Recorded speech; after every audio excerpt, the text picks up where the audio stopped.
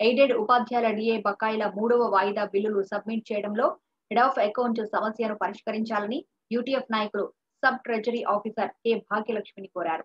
రాష్ట్ర ప్రభుత్వం ఏర్పడిన తర్వాత ఉద్యోగ ఉపాధ్యాయులు ఆర్థికంగా ఎటువంటి ప్రయోజనాలకు నోచుకోవడం లేదని యూటీఎఫ్ జిల్లా కార్యదర్శి షేక్ జానీ పాషా పేర్కొన్నారు.